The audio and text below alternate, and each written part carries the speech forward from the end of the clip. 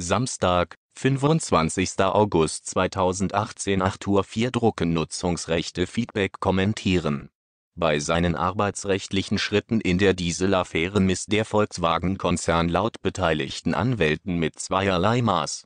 So wolle VW etliche von der Staatsanwaltschaft Braunschweig beschuldigte Techniker und Mitarbeiter des mittleren Managements vor die Tür setzen. Einige Schlüsselfiguren blieben hingegen unbehelligt. Mehr dazu im Spiegelheft 35-2018. Wer darf rein?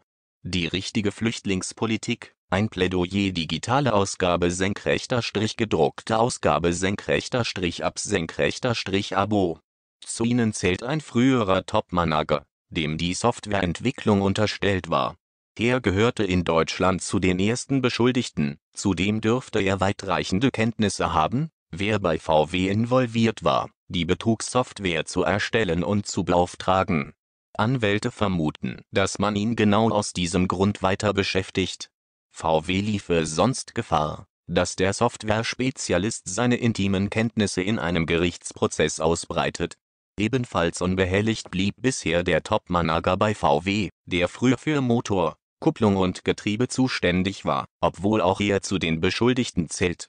Er erhielt nach Auffliegen der Dieselaffäre nicht nur einen neuen Posten bei VW, sondern wurde sogar mit der Aufarbeitung der Affäre im Zusammenspiel mit den Behörden betraut Beide Manager wollen sich mit Blick auf das laufende Verfahren nicht äußern, ähnlich wie ihr Ex-Chef Martin Winterkorn.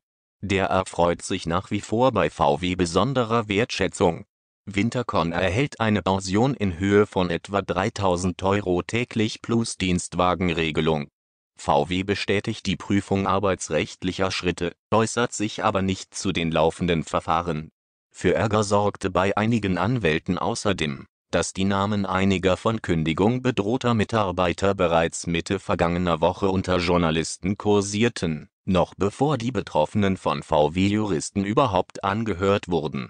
Dieses Thema stammt aus dem neuen Spiegel-Magazin, am Kiosk erhältlich ab Samstagmorgen und immer freitags bei Spiegel Plus sowie in der digitalen Heftausgabe was im neuen Spiegel steht, erfahren Sie immer samstags in unserem kostenlosen Newsletter die Lage, der sechsmal in der Woche erscheint. Kompakt, analytisch, meinungsstark, geschrieben von der Chefredaktion oder den Leitern unseres Hauptstadtbüros in Berlin